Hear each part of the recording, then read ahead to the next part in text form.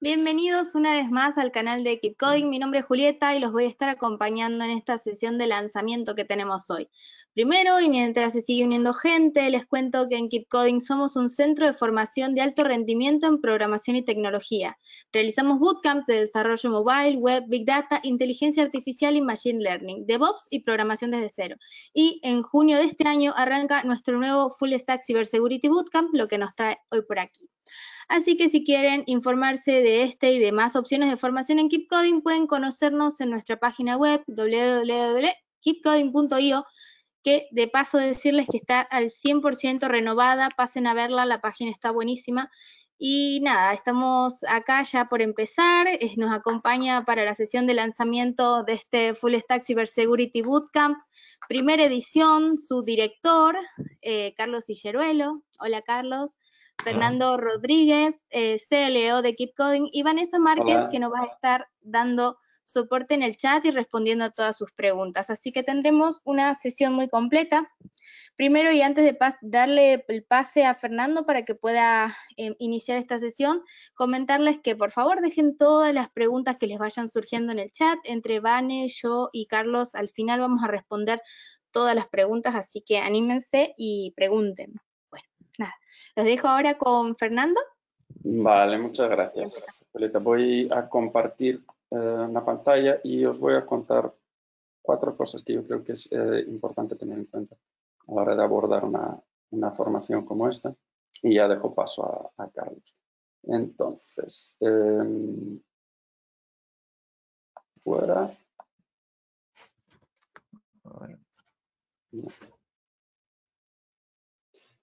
Vale, vamos a...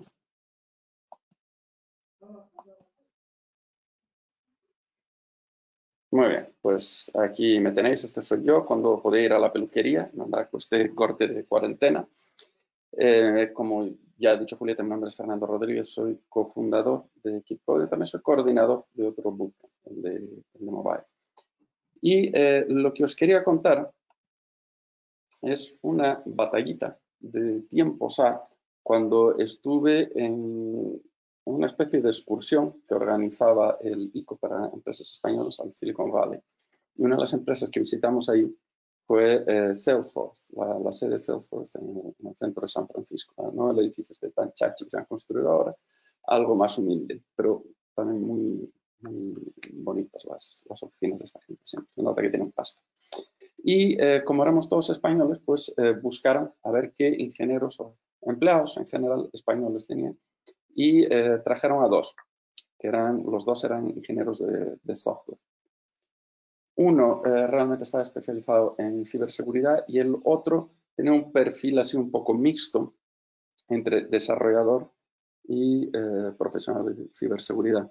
Y fue de lejos para mí lo, más interesante. Era un friki total y estuvo una hora y media dándonos detalles de cómo había descubierto él un fallo de seguridad en algún software, eh, algo de, software libre, no recuerdo cuál era exactamente, pero entró hasta los más mínimos detalles, se aburrió hasta la muerte casi todos los eh, que me acompañaban, que era gente normalmente de negocio, y yo me lo pasé pipa y estuve hablando con él después y me sorprendió cómo en Salesforce se tomaba en serio la seguridad del software que ellos sacaban al mercado. Y él me explicaba algo que es una perogrullada, que es que estamos tratando con el dinero de los demás necesariamente. Nuestro nivel de exigencia tiene que ser muchísimo más, más alto. Esto parece una perogrullada, pero no todos lo, lo tenemos en cuenta. En general, eh, yo cuando volví a España decidí, tenemos que enseñar algo de desarrollo seguro en todos los bootcamps. Tenemos que asegurarnos que nuestros alumnos por lo menos entienden la importancia y conocen las bases de esto. Fracasó vilmente porque no había ningún interés. Básicamente lo que me he dado cuenta es que la mayoría de los programadores, en el momento que compila, ya no es asunto nuestro. ¿Eh? nos lavamos las manos. Y no podemos seguir haciendo esto. Salesforce no puede seguir siendo la excepción, tiene que ser la regla. ¿De acuerdo? Y el porqué eh, de esto, y que consta que no he tirado la toalla, porque aquí estamos con un bootcamp de ciberseguridad y va a haber una masterclass de desarrollo seguro obligatoria para todos los demás bootcamps. ¿Por qué esto es, eh, es así? Pues para ello os quería enseñar un vídeo del año de la de pésima calidad, que es de un tal eh, Royce Gracie. Para los que no tienen ni idea del mundillo de las artes marciales, la familia Gracie revolucionó un poco este mundillo hace ya algunos años, cuando ellos, que eran practicantes de un arte marcial llamado Jiu-Jitsu, que es fundamentalmente de combate en el suelo, decidieron desafiar a todos los grandes maestros de cualquier deporte de contacto para pelear con ellos. Y ellos estaban convencidos que podían derrotarlos a todos. ¿Y por qué? Echemos un vistazo.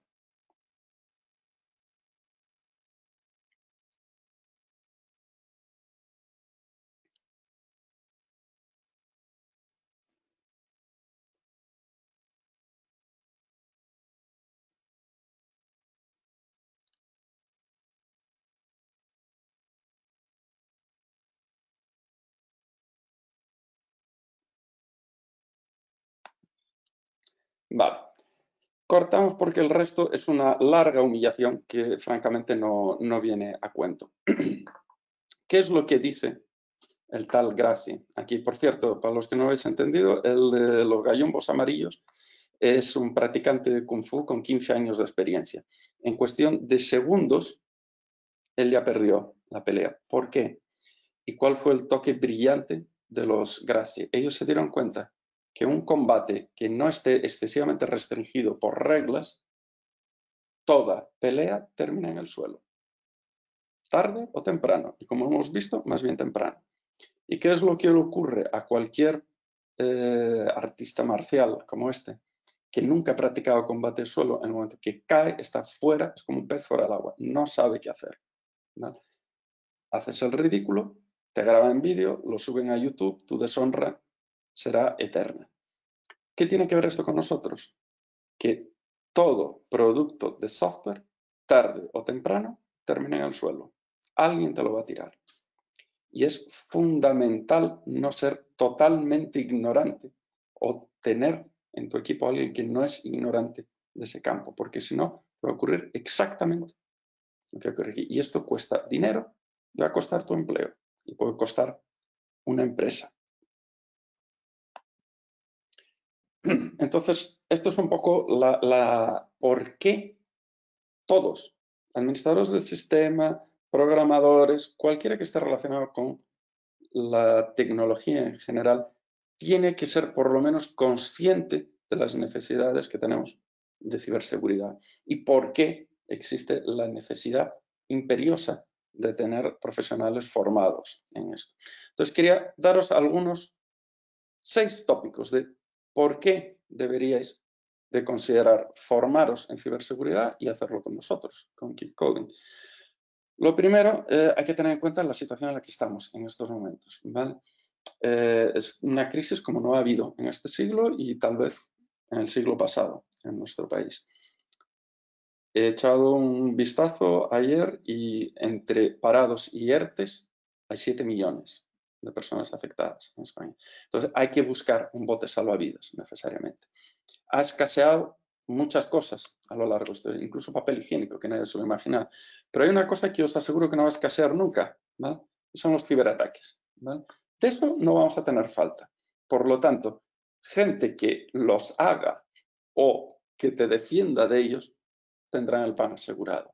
Es decir, es un bote salvavidas muy eficaz el que tenemos en estos momentos. Yo diría incluso que últimamente, ah, luego me gustaría saber la opinión de Carlos, pero me da la impresión de que ha aumentado más, especialmente el phishing. Yo he notado muchísimo más. Yo creo que los delincuentes deben estar trabajando desde casa, en remoto también. Hablando de remoto, es un trabajo que puedes hacer en remoto y la demanda es internacional. En todo el mundo la demanda es creciente en estos momentos y probablemente aumente mucho en el futuro post-COVID por las relaciones entre Europa, Estados Unidos y China y las cosas que hacen muy bien los chinos y que no hace falta entrar en, más detalles. La demanda es transversal. ¿Qué quiero decir con esto? Si tú te formas en digamos, eh, desarrollo móvil, ¿quién necesita esto? Pues fundamentalmente empresas de desarrollo. Hoy por hoy, todo el mundo, no todo el mundo necesita una, aplicación móvil. Eh, muchas empresas lo necesitan, pero no todo el mundo. No es así en el caso de ciberseguridad. O sea, tú tienes una pequeña gestoría, necesitas asesores de ciberseguridad. Yo os lo digo de experiencia porque los dos que tenemos aquí en España y en Estados Unidos han sufrido eh, ciberataques recientes, además, y bastante gordos. Es decir, decir, tu pool de clientes potenciales es muy amplio, no es un nicho, es transversal. Otra cosa, puedes elegir de qué lado de la fuerza quieres trabajar. Esto lo digo un poco en plan de coña, espero que la mayoría no os paséis al lado oscuro, pero existe un segmento del mercado muy amplio ahí donde también podéis trabajar y para el cual seréis formados. Y esto viene también, eh, enlaza con por qué hacerlo con Keep Coding. Todos nuestros bootcamps tienen un enfoque, y, y, me da a veces un poco reparo decir esto porque es una cosa hippies, holístico, en el sentido que tienes una visión amplia de todo el dominio que tienes que conocer. Es decir, aquí en concreto lo que nosotros llamamos full stack de ciberseguridad, tú saber tanto Blue Team como Red Team, y esto nos lo va a explicar mejor eh, Carlos. Otra cosa que es importante es que la barrera de entrada es relativamente escasa. En el caso de eh, Big Data y Machine Learning, pues tienes que tener un cierto bagaje matemático. Aquí el único módulo que exige matemáticas es eh, criptografía y a lo mejor si te quieres especializar en ataques eh, criptográficos o, algorítmicos, necesitarías un, background matemático más potente, pero en general no. Es decir, es, una, la barrera de entrada es muchísimo más suave. Y algo que es muy importante es la sexta. ¿Qué quiero decir con eso de que no es un sustantivo, es un adjetivo? Si tú eh, te formas, haces nuestro bootcamp de eh, desarrollo móvil. Al terminar, tú eres un sustantivo. Tú eres un desarrollador mobile o un desarrollador web. Tu background previo en general no aporta demasiado. Entonces es un poco una ruptura con tu carrera eh, pasada. No así DevOps, eh, Machine Learning y, Big Data, es muy marcado en este caso, y también ciberseguridad. Es más un adjetivo. Tú eras un has trabajado, qué sé yo, en administración de sistemas de entornos bancarios durante cinco años, te formas en ciberseguridad, sigues siendo un sysadmin de eh, sistemas bancarios, pero es un super sysadmin de sistemas bancarios. Es decir, tú puedes traer tu background previo y incrementarlo. Es decir, no rompes con tu carrera. Puedes reaprovechar muy bien, en la mayoría de los casos, tu background pasado. Entonces, ¿qué es lo que consigues con esto? Tienes una mayor amplitud de clientes y empleadores potenciales.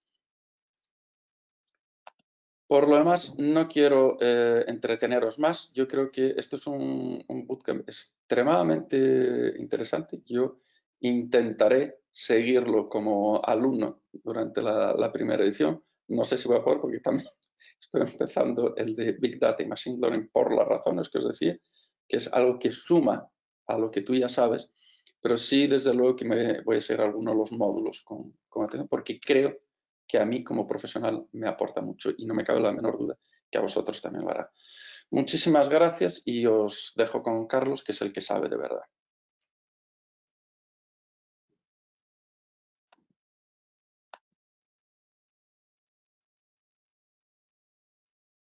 Ok, un segundito. A ver.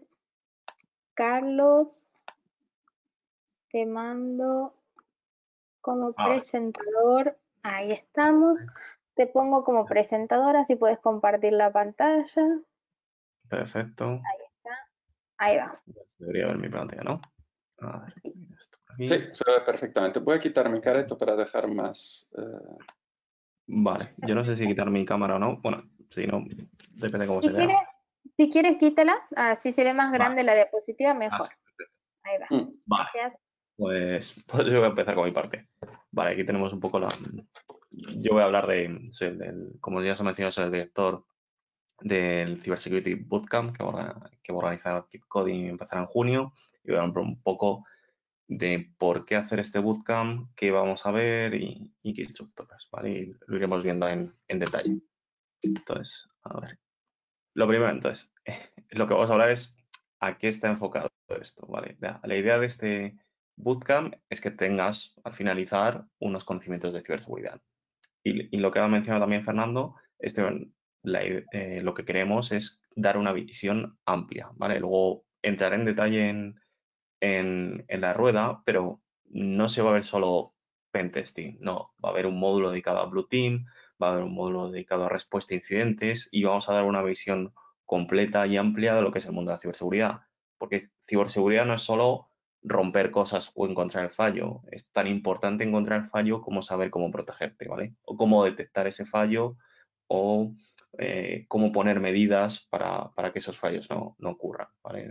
a veces se, ve siempre lo más visible de es, han entrado aquí, ¿vale? Y, todo el trabajo previo no, no, se habla de ello, o cuando no han conseguido entrar, eso no, no es visible. Pero la ciberseguridad es un mundo muy amplio y, creo que bajo el diseño que tenemos en este bootcamp vamos, vamos a ver eh, gran parte de, lo que es este mundo, ¿vale?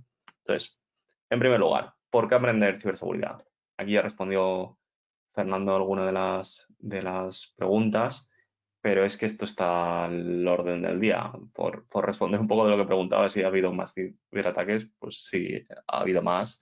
Y el, la ciberdelincuencia se, ha profesionalizado e industrializado. Hay más gente trabajando desde casa, más probabilidad de ganar más dinero si hago más ataques ahora. Pues esta tarde, por ejemplo, voy en el telediario que se han aumentado el número de ventas online. Y la gente que le daba miedo comprar online, pues prefiere comprar online a salir a la calle pues esto es igual, hay un, mayores conexiones. Al principio de, cuando empezó todo esto la pandemia se hablaba si iba a aguantar las conexiones o todos a la vez, o que no hubiera todo el mundo Netflix por la mañana, a ver si aguantaba todo. Pues, el, uso que está viendo de las redes ahora no, ha ocurrido nunca. Eh, la, cantidad de gente trabajando no ha ocurrido nunca. Entonces, esto pues, pues lleva a que la, seguridad sea todavía más importante, porque se va a intentar atacar a todas esas nuevas vías de comunicaciones o, ese cambio que está ocurriendo en las, en las empresas, ¿vale? Por hablar un poco de, tema de salarios, saco un informe de, de, InfoJobs de 2018, pues que habla, pues al igual que en el sector de informática están creciendo los puestos, en, seguridad también crecen, ¿vale? Es, un, mercado laboral al alza, Y esto es de 2018, eh, ahora podéis ver en LinkedIn, InfoJobs, cantidad de, ofertas de trabajo relacionadas con ciberseguridad. Y algo que decía también Fernando es el tema del teletrabajo. Ya había antes ofertas de teletrabajo eh, pensadas en ofrecer ciberseguridad y esto ahora lo, lo hilo también con, porque hay una falta de, profesionales y si yo tengo una empresa en Reino Unido y me faltan profesionales, pues no voy a y no los encuentro localmente, pues abro abro la opción a, que tengan teletrabajo. Y yo conozco bastante gente eh, que trabaja en ciberseguridad aquí en España para empresas extranjeras. Bueno, luego lo mencionaré, uno de los instructores que vamos a tener, uno de los módulos trabaja por una empresa de, Estonia, ¿vale? Eh, y otros que conozco también trabajan muchas para empresas de Reino Unido. Entonces, hay una falta, que es lo que pongo aquí en esta diapositiva, de, de profesionales que tengan conocimientos de ciberseguridad. Y ya no hablo solo de expertos, sino lo que decía Fernando es cierto. La gente que programa no, no suele saber de ciberseguridad y eso es algo que, es un hándicap desde mi punto de vista y, una carencia bastante importante y que se va a ver eh, y se va a ver muy afectado a todos esos desarrollos en el, futuro. Entonces, ahora mismo faltan profesionales de ciberseguridad. Si seguimos en esta tendencia de teletrabajo, pues van a hacer todavía más, más necesario aplicar medidas seguras. Entonces, va a hacer falta más gente y si ya había puestos de, trabajo remoto relacionados con este tema, lo, va a seguir habiendo. Porque la, falta de, empleados y la gran empleabilidad del sector, pues, pues lleva a que las empresas ofrezcan puestos en, remoto para intentar pues, conseguir a más, más gente. De hecho, aquí estoy un poco de desacuerdo, aunque este informe es de 2008 de, de Infojobs, pero bueno, calculaban que el salario medio en España era unos 25.000 euros Yo aquí estoy en desacuerdo y he puesto también un poco de fuente de LinkedIn que calculaba que estaban unos 29.000 euros el salario medio en España de, alguien trabajando en ciberseguridad. Yo creo, sinceramente, que ese es un puesto de alguien que está empezando. Eh, no es complicado llegar con un año de experiencia a los 30.000 euros, desde mi punto de vista o bajo mi experiencia. Más si añadimos el tema del teletrabajo, eso, eso se va a aumentar. Aquí estoy poniendo cifras en España y creo que estos salarios van a ir al alza todo este teletrabajo que estoy ofreciendo y ahí es, lo van a tener muy complicado las empresas españolas. ¿Cómo compites con sueldos de Reino Unido con alguien viviendo en, España? Pero bueno, esa es la realidad y, en, lo que nos estábamos viendo ya antes de que empezara todo esto y es lo que va a seguir. Eh, hablaba de todo esto del COVID-19 que va a motivar que sea más necesario y, recordaba este, este tweet que decía que ha llevado a la transformación digital en tu compañía. El CEO, el CTO, no, ha sido el, el COVID-19. Y es que es así en, muchísimas empresas. Lo que ha llevado a que la gente empiece a teletrabajar o una digitalización rápida de la empresa ha, sido todo, todo este tema del COVID-19. Y eso ha llevado que hay un montón de fallos de seguridad, los ciberdelincuentes lo saben, y, y, hay una necesidad de, estos servicios de, de, seguridad e implantarlos, ¿vale? Porque si no, va a haber consecuencias. En Europa ya en mayo de 2018 se aprobó eh, el Reglamento General de Protección de Datos, ¿vale? Y esto hubo bastante boom con ello porque aumentaba el número de, aumentaba la cantidad de multas o las multas podían ir pueden ir en base a tu facturación si sufres un incidente de seguridad. Si sufres un incidente de seguridad y pierdes datos sensibles de tus clientes o de empleados, estás obligado a decirlo y de hecho se te puede multar por no haber puesto la, si no pusiste las medidas o no actuaste de cara, eh, de cara a poner medidas de seguridad en tu empresa, porque se veía que de forma proactiva la gente no, no hacía nada, ¿vale? Eh, no sé, ¿se sigue viendo mi pantalla o...? Sí, a ver. Eh, sí. se ve, se ve y se oye alto y claro. Vale, vale, es que me ha saltado que se quería seguir presentando. Y sí, sí, claro. vale, entonces que hablaba esto de GDPR y ya ha habido casos con GDPR. De hecho, aquí he puesto Marriott y creo que hace un mes o algo así eh, eh, sufrieron otro incidente de seguridad. Entonces, el primero, ¿vale? Marriott se enfrenta a una multa de unos 123 millones de, dólares, calculan las autoridades de Reino Unido, porque tuvieron una brecha de seguridad y le robaron pues 383 millones de datos de, eh, pues, de gente que se ha alojado en los hoteles. Es una cadena hotelera, tenían datos de pues, cuando te alojas, que das tus datos personales y se los robaron. También le pasó a British Airways algo similar, perdieron un montón de, de, datos de usuarios y se enfrentan también a, una multa también millonaria. Y es que esto va a ser en nuestro día a día. Aquí ponen cifras estimadas porque todavía no se les ha multado, ¿vale? Eh, se, está viendo eh, pues que, que, multa va a aplicar la, Comisión Europea, pero bueno, esto lo calculan pues bufetes y, organismos de Reino Unido. Estas que pongo aquí. De hecho, ya no solo relacionados con multas, ¿vale? Es, importante cómo te afecta a la marca o, a la empresa o a tu desarrollo normal. Mm, yendo a casos aquí españoles, eh, este año y el pasado hemos tenido bastante comentarios y, noticias, vamos, respecto a esto. No sé si alguno de los que nos esté oyendo conoce Everis o ha trabajado allí o trabaja, pero sufrió un incidente de seguridad muy grave, ¿vale? Se les sufrió un incidente que consiguió entrar a su red interna y accedieron a multitud de equipos y, los cifraron, ¿vale? Pidiendo un rescate luego sobre ellos. Y además era un ataque pensado para, para ellos. la, extensión de los, de los archivos era un, punto Everis con, con las S cambiadas por un 3, así rollo Haxor, y, y, van a por ellos. Y van a por ellos y, les entraron a la red. Y de hecho, Everis ofrece servicios de ciberseguridad, pero eh, ahí hubo errores, evidentemente. Habrá que ver cómo lo abordan y se vieron muy afectados. Yo creo que peor incluso fue el caso de, de Prosegur, que también he puesto aquí, porque es que Prosegur incluso, tras recibir eh, un ataque de ciberseguridad, que también un, un ransomware, y cifró un montón de sus equipos y afectó su red interna, su sistema de alarmas físicas dejó de funcionar, ¿vale? Entonces, el servicio que estaban dando físico de alarmas dejó de funcionar. Aquí vemos cómo se traslada el problema digital al mundo físico, ¿vale? Entonces, qué, fiabilidad te va a dar como cliente tener un sistema de alarmas que les, les han sufrido un ciberataque. Ellos además tenían una empresa de ciberseguridad y siguen teniendo, y encima deja de funcionar la alarma. De hecho, también leí que habían tenido un montón de problemas y hubo bastantes días que el envío de dinero de los famosos estos, eh, los camiones, estos blindados que lleva Prosegur y lleva el dinero, no salía. Pues habían perdido las rutas a donde tenía que ir cada camión. Eh, y aquí también la dependencia tanto de la tecnología y la importancia de la ciberseguridad en este caso. Y, me gusta hablar de, casos concretos. Van a decir, no, es que mira, le ha pasado no sé quién. No, aquí estoy hablando de empresas grandes, además que tienen un departamento de ciberseguridad y tienen, no hicieron las cosas bien y eso también demuestra la, falta de, conocimiento del sector o de tomar medidas o políticas, ¿vale? Eh, yo no quiero excusar a nadie, también creo que es difícil cambiar la mentalidad si es una empresa física a, una digital, por hablar, por ejemplo, del caso de, de Prosegur, pero los hechos son, son los hechos, ¿vale? Y, la, seguridad.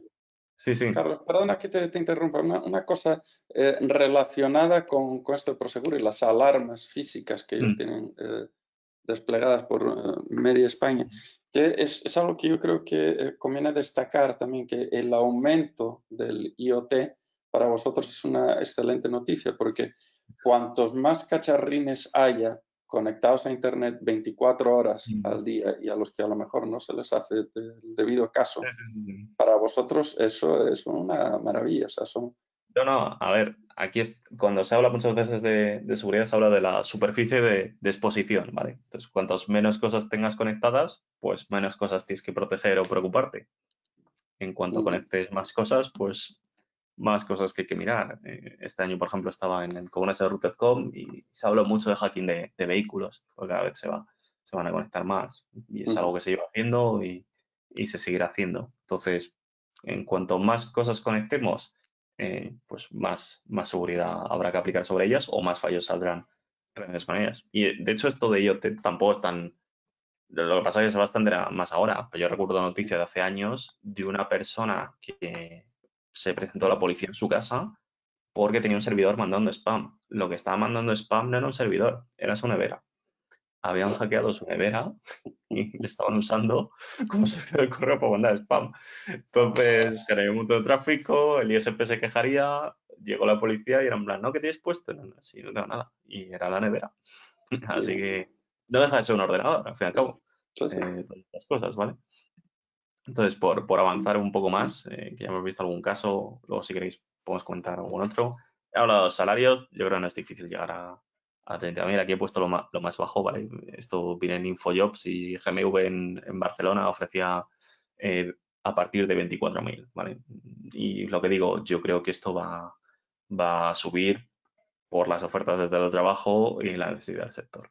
Aquí estoy hablando de puestos junior, pero lo podéis ver vosotros. Meteos en InfoJobs o en LinkedIn y, lo veis. De hecho, los salarios desde mi punto de vista muchas veces también son, son mayores a los de un programador porque te estás especializando en un campo más específico. ¿vale? No, quiere decir que, no quiero decir que los salarios de los programadores estén mal por estilo, sino que al final, si hay menos gente y luchan más por ti, pues, pues acaban ofreciendo más salarios. ¿vale? Menos gente para, para para muchos puestos, pues, pues es lo que hay, oferta y demanda. Entonces, por entrar un poco, ¿qué es, qué es trabajar un poco de, de ciberseguridad? Ya que cito un poco la serie de, de Silicon Valley de, de, HBO. Entonces, ya hemos citado varios casos y, y ya he hablado también de, de, que no es romper, pero que hay que entender que la ciberseguridad es muy amplia, ¿vale? Ciberseguridad es saber de redes, de seguridad, de programación. Yo no soy programador, pero he hecho cursos de programación, y lo que hablaba Fernando, intenta ser, ser súper en todos los campos. Cuanto más sepas de más campos, más ciberseguridad vas, vas a saber. Porque cuando te enfrentes a auditar una aplicación que está hecha en Ruby, pues si tú ya sabes Ruby, todo eso que te llevas por delante. Y, vas a saber qué fallos puede cometer el programador o qué fallos tiene esa tecnología. Entonces, aquí el, directamente el saber no ocupa lugar y en, seguridad, en cuanto una visión, cuanto tu visión sea más amplia eh, que es lo que decía Fernando también, pues es, totalmente necesario. Y por eso este bootcamp está diseñado, ya entré, como está diseñado. En este bootcamp no se va a abordar lo que he dicho anteriormente sobre el tema de Red Team, va a haber también una parte muy importante de Blue Team. Y esto quiero hacer énfasis sobre ello porque es absolutamente necesario, ¿vale? Yo si me trabajo como pentester, tengo que auditar un sistema, tengo que saber cómo ese sistema puede defenderse contra mí. Carlos, perdona, perdona que te interrumpa, pero a lo mejor sería interesante si pudieras eh, explicar lo que es Red Team y Blue Team. Lo mejor no el mundo lo, tiene claro. Eh, bueno, sí, para, toda la gente que no, esté familiarizado con los términos, Red Team, el tema de ciberseguridad al final se suele dividir en, dos colores o dos equipos, aunque ahora hay también gente que habla del, del Purple Team, ¿vale? Entonces, el equipo rojo suele ser gente más especializada en ataque, suele ser gente más especializada en ataque y en Blue Team gente más especializada en defensa. Esto lo hilo con lo que he dicho anteriormente de se piensa en ciberseguridad, no, quiero aprender a cómo hackear la nevera, que he dicho antes, o quiero aprender cómo hackear una web. No, pero es tanto tan importante eso como saber, quiero que no me hackeen mi web, ¿vale? Entonces, si te dedicas al ataque o a, Red Team, a eh, ataques de, de pentesting que se suele llamar también, voy a editar una web y voy a encontrar sus fallos. Necesito saber cómo esa web puede detectarme, porque si yo me ha contratado el director de la empresa y una de las cosas que hemos dicho en el contrato es quiero ver cuánto tarda mi equipo en detectarme, eso se llaman también ejercicios de, red team, simular un, un ciberataque lo más realista posible, pues necesito saber todas las medidas que ha puesto la otra parte. Porque aunque habrá muchos sistemas que desgraciadamente no implementan una seguridad o no implementan seguridad desde el minuto cero, eh, sí que hay otros que están implementando medidas. Y de hecho hay muchos productos y empresas de desarrollo de software también centrados en ofrecer herramientas de seguridad de cara a defensa. ¿vale? Eh, luego mencionaré varias tecnologías, pero por poner un ejemplo que luego integraré más en ella, Elastic es una empresa que está creciendo increíblemente porque es genial los servicios que ofrece, pero de cara a ciberseguridad está revolucionando el sector desde mi punto de vista y a la ciberseguridad desde Blue Team. ¿vale? Aunque bueno, también implementaciones con, con Red Team usando Elastic. Entonces, ¿qué sería Red Team? Y veríamos de, de, ciberseguridad enfocado en ataque. Vamos a saber cómo eh, pues, atacar un objetivo. Entonces, para lo primero que tienes que enterarte es, quiero informarme sobre lo que estoy, lo que estoy viendo, ¿vale? Entonces, eh, quiero ver hacer un reconocimiento de mi objetivo. Entonces va a haber un módulo solamente enfocado a information gathering, ¿vale? Eh, identificar qué es lo que estoy atacando y cómo lo puedo atacar. Una vez tengo identificado qué estoy viendo, estoy viendo una web hecha en Ruby, en Python, en Django, eh, está hecho en Spring, ¿vale? Tengo que ver cómo atacarla.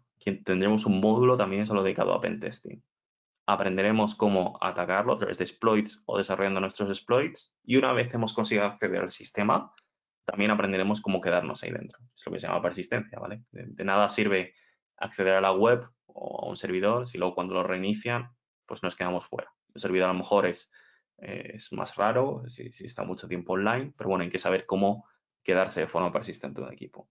De cara a Blue Team tendremos también eh, que esto recuerdo que es el, tema de, defensa, pues vamos a analizar muestras de malware real, vamos a aprender cómo fortificar servicios, servidores, tenemos un acuerdo con Amazon Web Services y, vamos a poder desplegar máquinas y ver cómo securizarlas ahí. Y otros dos puntos que no se suelen hablar y creo que son especialmente importantes es, lo que se suele llamar DFIR, que es Digital Forensics and Incident Response, que esto va muy bien colado con la informática forense, que es cómo respondo un incidente y cómo respondo un incidente correctamente y a nivel forense. Porque si yo me atacan, eh, muchas veces me intenta saber hasta dónde han llegado, qué han visto, qué proceso de seguir y no eliminar los rastros de ese ataque. Ahí, es súper importante el, forense digital.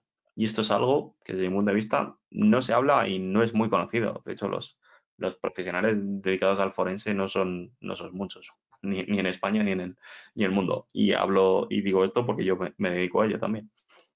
Y finalmente también veremos aplicaciones de Machine Learning, Machine Learning enfocada a ciberseguridad, porque igual que Machine Learning es un, un tema en boom en la inteligencia artificial, pues hay muchos productos que, que, están ofreciendo soluciones de Machine Learning aplicadas, a, utilizando Machine Learning aplicado a ciberseguridad. Y es, desde mi punto de vista es necesario tener unos conocimientos base cuando tengamos que evaluar un producto o ver cómo funciona o queremos nosotros eh, eh, desarrollar uno propio, pues tener unos conocimientos básicos sobre ello.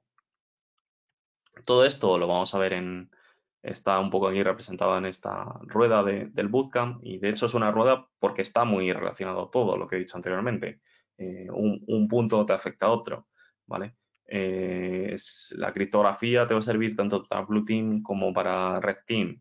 Eh, saber cómo defenderte, pues vas a aprender cómo defenderte y cómo saltarte esas defensas o cómo evitar que se las puedan saltar. Entonces, es, una, bueno, las, son las dos caras de, de, una misma moneda, al fin y al cabo. Luego, te gustará más un tema u otro y creo que también esto puede servir para que veas los distintos campos de la ciberseguridad y luego digas, no, mira, a mí me encanta el pentesting o me encanta mucho más responder a un ataque o defenderme o analizar muestras de malware para ver cómo están atacando la gente y, por ejemplo, en, desarrollo de, en tema de análisis de malware, eh, también se desarrollan vacunas, ¿vale? Y, quiero aprender, pues, cómo, cómo eh, ofrecer soluciones frente a esta ransomware, ¿vale? Eh, de hecho, cuando empezó todo esto de la pandemia y sigue habiendo, hay un montón de dominios con la palabra COVID o coronavirus dedicados a, ciberestafas o, malware, ¿vale? Ciberataques.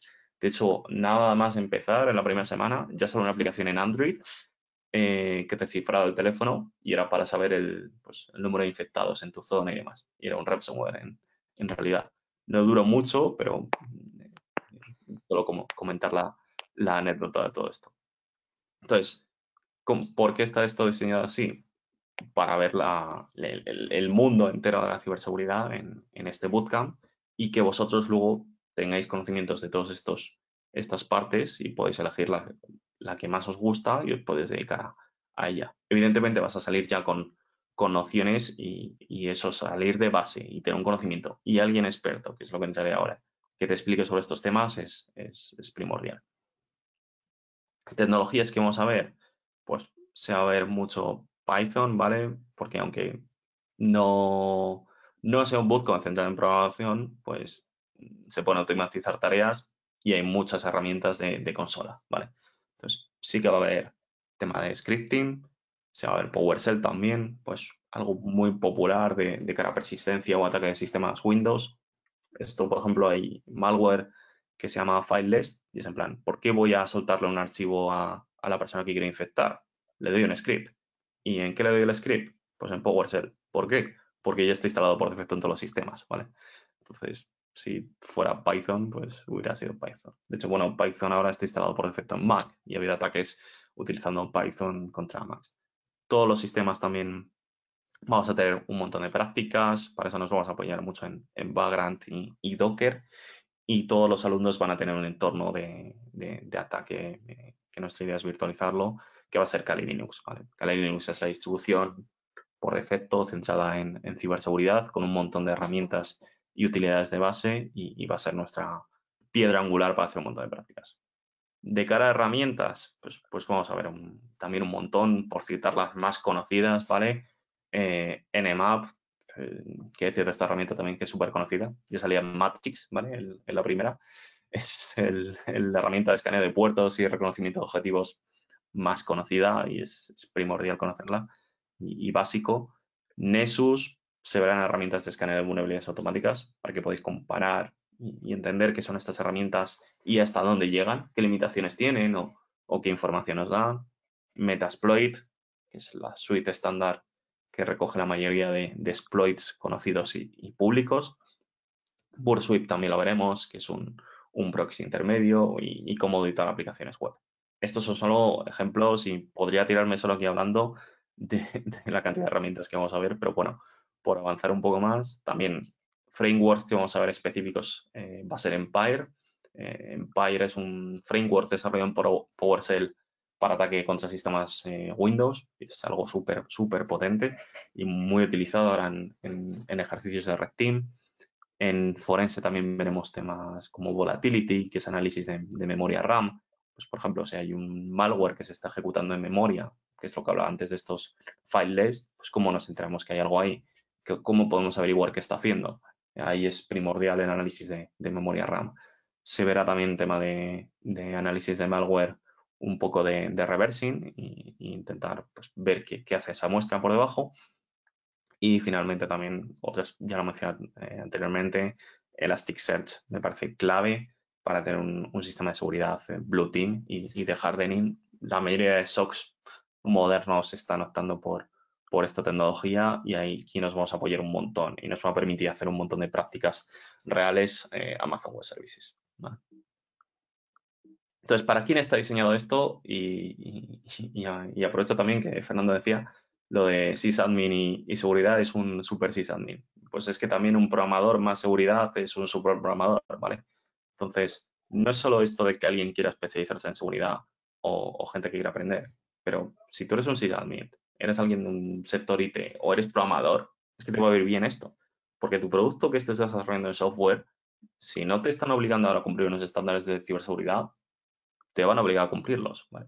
Eh, hace poco, no, puedo decir el nombre, pero he trabajado para, y tengo ahora otro proyecto con una empresa que eh, es una empresa de desarrollo de software, pero la empresa final le exige que haya pasado una auditoría de aplicación y luego también que en el ciclo de desarrollo de software tengan implementados herramientas de auditoría de código para que en todo ese ciclo de desarrollo de software vayan revisando la seguridad. Esto es lo que se llama de Security by Design. ¿vale? Esto parece algo eh, etéreo o nuevo, pero cada vez se va a imponer más, porque luego la empresa que va a utilizar ese software no quiere que la multen, no quiere perder los datos de sus usuarios, no quiere tener problemas. Y a lo mejor va a salir un fallo. Pero si desde el proceso de desarrollo de software se ha tenido en cuenta la seguridad, vamos a solucionar muchos problemas.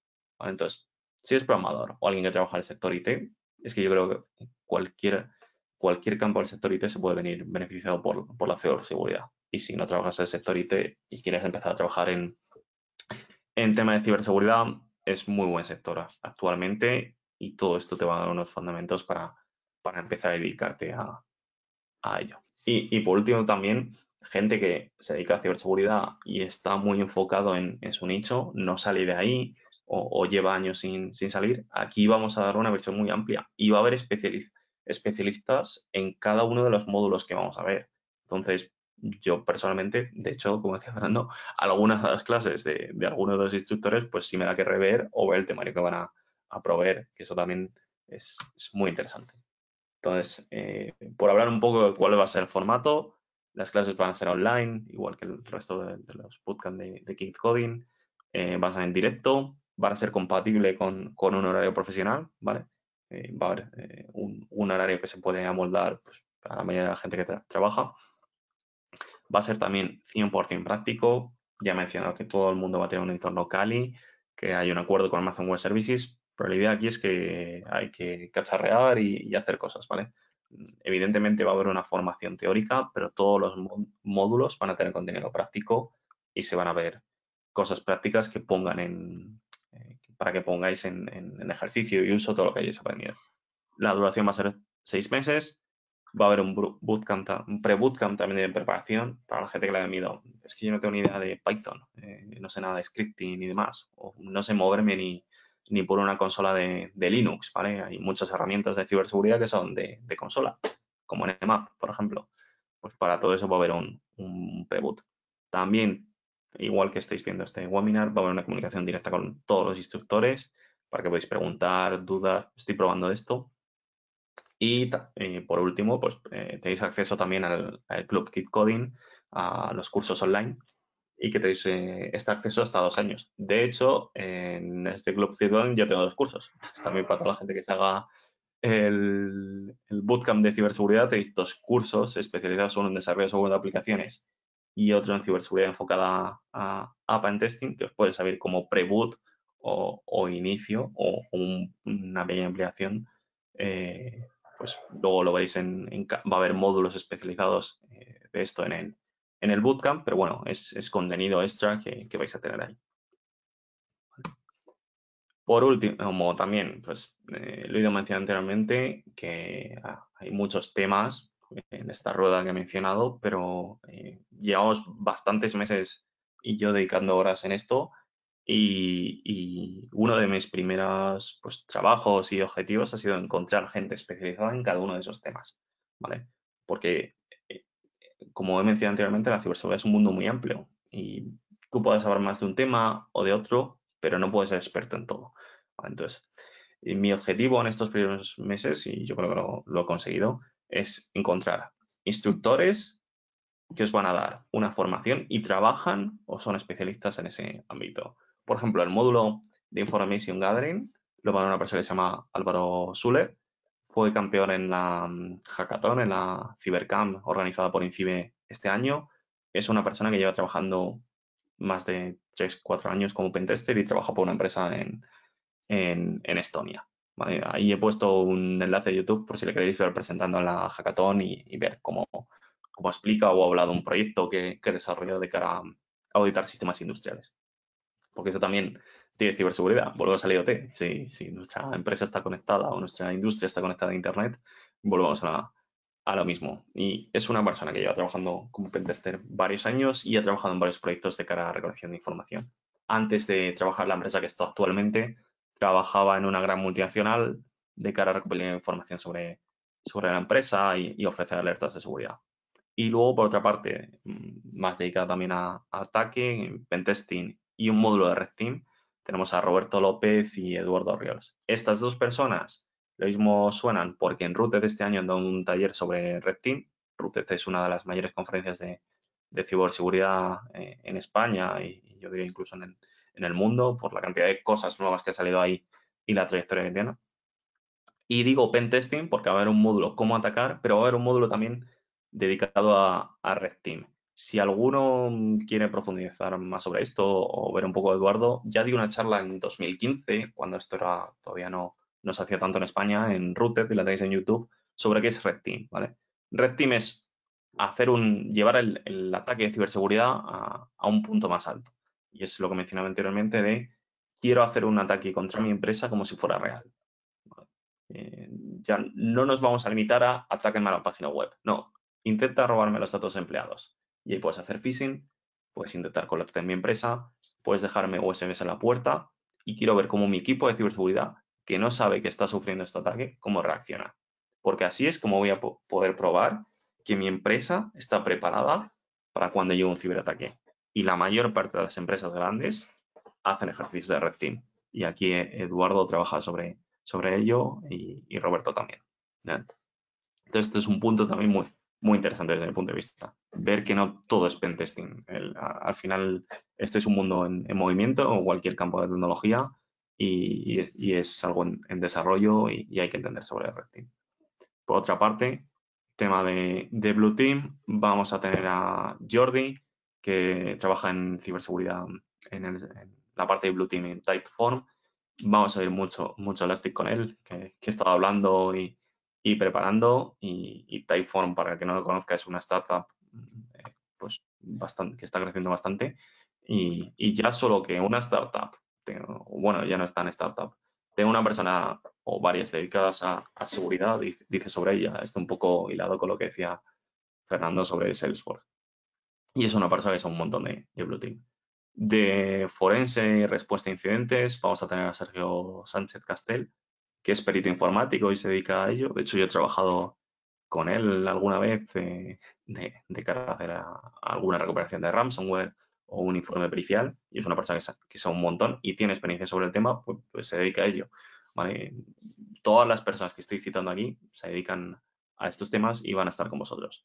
En análisis de malware vamos a tener a, eh, Adrián Rodríguez García también, que trabaja de analista de malware en, en, Ingenua, en Ingenia y su trabajo actualmente es eso, eh, recibe muestras y tiene que analizarlas de cara a dar información a los clientes. Entonces, vais a ver cómo trabaja en realidad un analista de malware y de hecho, porque yo ya lo he visto con él, todos los trucos que os va a poder contar de cómo analizar malware. Recuerdo hablando con él preparando alguna clase que me decía, no, no, el entorno de análisis de malware no te lo montes con VirtualBox, eh, montalo con Kemu, otro sistema de virtualización, porque el malware está más acostumbrado a que le metan en VirtualBox y están más preparados a que si le metes en VirtualBox no se enteren. Entonces, como es un entorno más raro que u otro sistema de virtualización, pues no se lo esperan y, te pillan menos el entorno de virtualización. Y, la verdad es que funciona súper bien. Y digo estos trucos como, como otras tantas cosas que veréis, pero porque es gente que se dedica a, a esto actualmente. Y finalmente también vamos a tener a Gabriel Antonio Valverde, que trabaja en investigación en inteligencia artificial en una universidad española y vamos a ver bastantes proyectos prácticos de ciberseguridad y machine learning. para que veáis un poco y no, no suene esto a, humo o, ida de olla, por ejemplo, un montón de filtros de, spam funcionan utilizando Machine Learning. O hay una empresa eh, de origen americano que ha comprado ahora BlackBerry que se llama Silence, que hace un, motor de, antivirus o lo que se llama ahora eh, detección en endpoint o protección de, endpoint, que se llama Silence, que tienen varios motores de, inteligencia artificial dentro de ese software para detectar malware en, los ordenadores. O el, pues a lo mejor algo que conocéis todo el mundo, eh, Microsoft Defender, por ejemplo, el, antivirus desarrollado por, por Microsoft, tiene también un motor de, Machine Learning para detección de, muestras de, malware. ¿vale? Y esto es todo por mi parte. No sé si habrá preguntas, pero que sí, porque he hablado yo creo bastante, un, poco. bueno, tenemos una pregunta, em, a ver, que está en inglés, que aquí la encuentro. Pregunta, sí, a ver, justo se me tapó, ahí. Red team and blue team are related with white hat and black hat. Vale, eso es, es que parece que nos gustan los colores a la gente de ciberseguridad. vale, esos hay son. que tener claro de qué equipos son, por eso hay que tener bandera.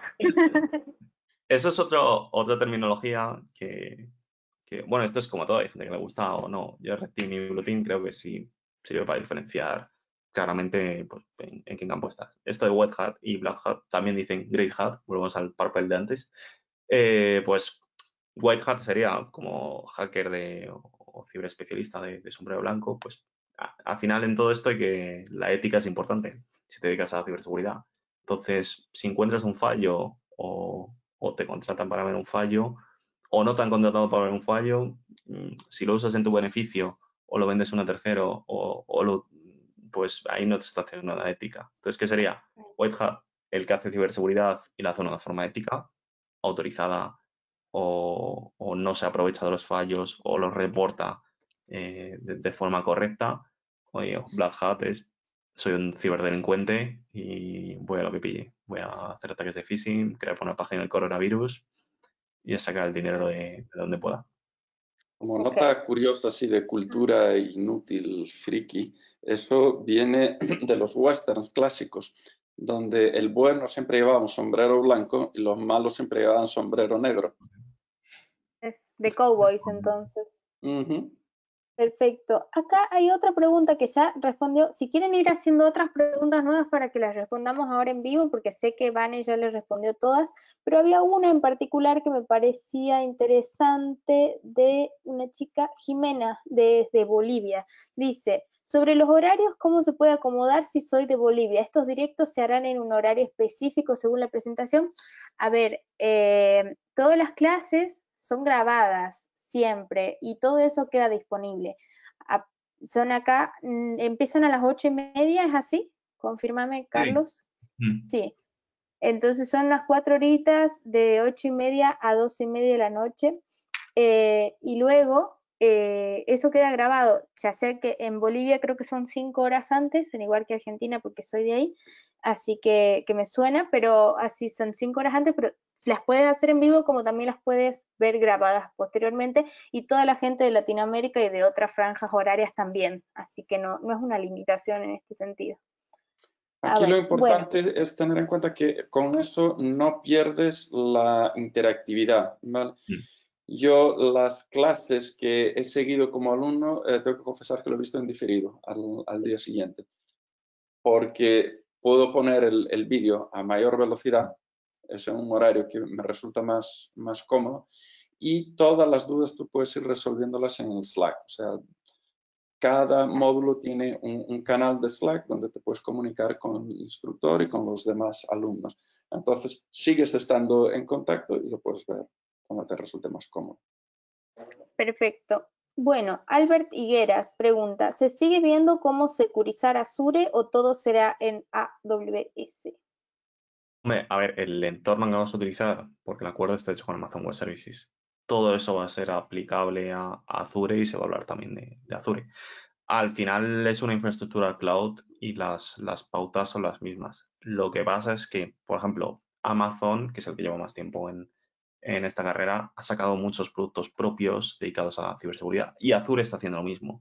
Sí que se mencionarán, las prácticas serán sobre Amazon la mayoría, las pautas de base son todas y sí que se, se mencionarán y se hablarán de algunas soluciones específicas porque cada uno al final está sacando la, suya. Por ejemplo, Azure está sacando muchas cosas relacionadas con, con Windows y monitorización de Windows, pero porque es mundo Microsoft.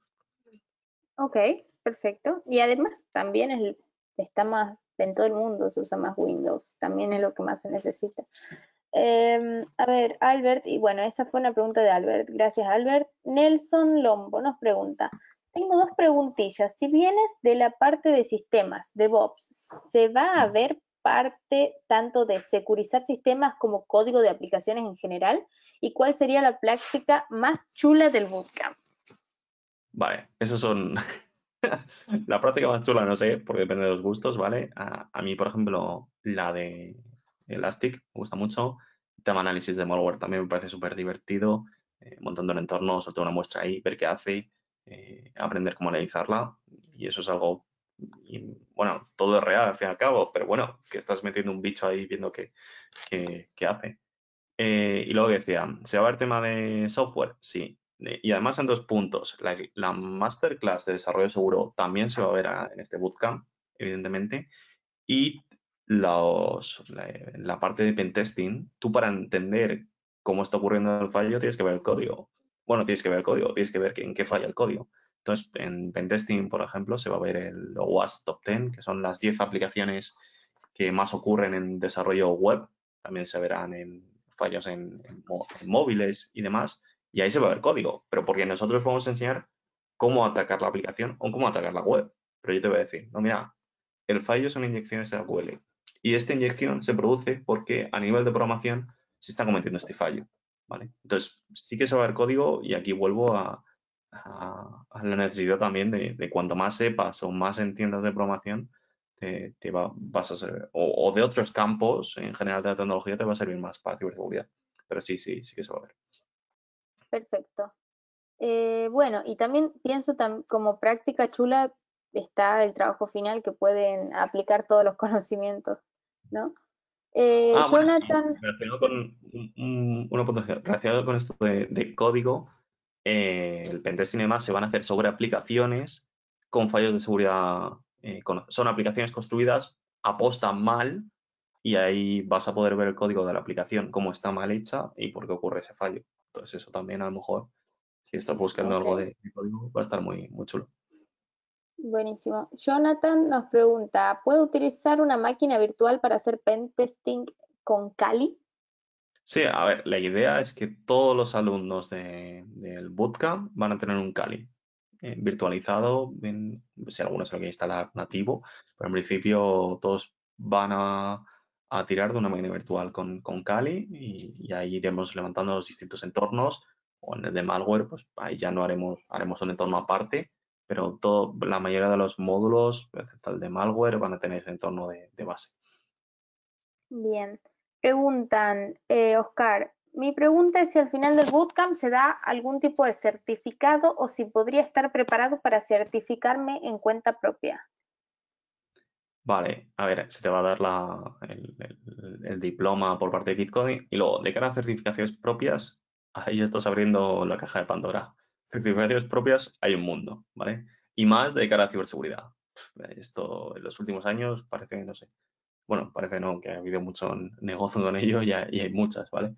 Entonces, depende de que te quieras certificar. Yo creo que si vas a tener nivel por ejemplo, CH, que es una de las más conocidas, lo vas a poder hacer sin problemas. O SCP, pues esa, por ejemplo, creo que vas a tener el nivel, pero te la tienes que preparar, o es una certificación que el examen lo tienes que pasar en 24 horas. Eh, depende de la certificación en concreto. Yo creo que vas, estas dos que mencionabas las vas a poder hacer sin problemas. Perfecto. Bueno, Claudio nos pregunta, ¿qué es lo que diferencia el bootcamp de Keep Coding respecto a otros? Vale, aquí vuelvo a mencionar el, tema, el tema de una visión amplia o, holística de, pues, tanto Red Team como Blue Team. Y en aspecto de Blue Team, Blue Team también es otro mundo aparte, no es solo securizar equipos y, y monitorizarlos. Es analizar el malware, es saber cómo responde a un incidente eh, y todo eso lo vamos a ver en este bootcamp. Yo creo que hay otros muy enfocados a cómo, cómo atacar y nos olvidamos más de la otra parte, pero porque no es tan popular o yo sé, o no es tan visual. Pero es totalmente o más necesario. Entonces, necesitas saber de los dos mundos y aquí lo, lo, vas, a, lo vas a poder hacer. Y otra cosa que hay que destacar y que es común a, todos los bootcamps de equipo, porque es parte de nuestra filosofía y de nuestro ADN, es que es extremadamente práctico. Aquí pajas mentales teóricas, eh, las justísimas o ninguna. Y la razón es muy sencilla. Eh, al no ser, digamos, una universidad que dependa del, Estado, nosotros solo tenemos una métrica y es la empleabilidad de nuestros alumnos. Si eso funciona, estamos haciendo un buen trabajo y seguirán viniendo alumnos. Si eso falla, dejarán de venir los alumnos y nosotros desapareceremos. Somos la escuela de programación más antigua de España, llevamos casi 10 años. Entonces, eso dice un poco por dónde van Es decir, tú sales preparado para empezar a trabajar de inmediato en tu dominio y progresar de forma muy rápida. Quien quiera que eche un vistazo en LinkedIn, antiguos alumnos nuestros, ¿cuál es su progresión habitual? En dos, tres años ya son lead developers o CTOs de las empresas en las que están trabajando. Aquí lo mismo. Excelente. Bueno, última pregunta, a menos que dejen alguna más. Dice Álvaro, nos pregunta, ¿nos vais a dar la OVA de Cali vosotros o usamos la nuestra? Eh, bueno, se partirá de una OVA de base, que es la, oficial que provee Offensive Security, y luego ya y según vayamos avanzando, se os va a explicar, pues porque no todo viene en Cali, qué cosas instalar y si durante las clases pues se va a guiar, porque por ejemplo en Kali no viene Docker instalado por defecto, pero eso hay un primer módulo de introducción que veremos qué es Docker, cómo instalarlo y está pensado esa instalación de Docker no porque vayamos a crear Docker containers, sino porque vamos a desplegar un montón de entornos de seguridad eh, con fallos, ¿vale? entornos reales de, práctica utilizando esa herramienta. Entonces, de base se va a utilizar una imagen la que provee Offensive Security de, de Kali y ahí sobre ella la iremos ya tuneando en cada módulo con nuestras herramientas y, necesidades. Bueno, no hay más preguntas, así que por cerrar les cuento a todos que la sesión obviamente la estamos grabando, la vamos a enviar a todos mañana por su mail. También le vamos a enviar un enlace a una semana de prueba que tenemos armada con algunos cursos que, que vinimos dando de ciberseguridad, uno de ellos de Carlos también, que es de seguridad y ciber, de tele, cibertrabajo, a decir, de ciberseguridad y teletrabajo.